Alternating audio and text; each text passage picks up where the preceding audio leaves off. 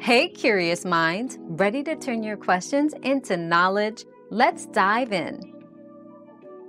To unhide all comments on Instagram, first navigate to your profile and tap the three lines in the top right corner.